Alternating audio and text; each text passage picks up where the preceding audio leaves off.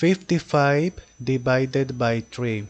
5 is not less than 3, therefore with 5. 3 multiplied by 2 is 6, excessive. 3 multiplied by 1 is 3. Okay. 5 minus 3 is 2. 5. Now with 25.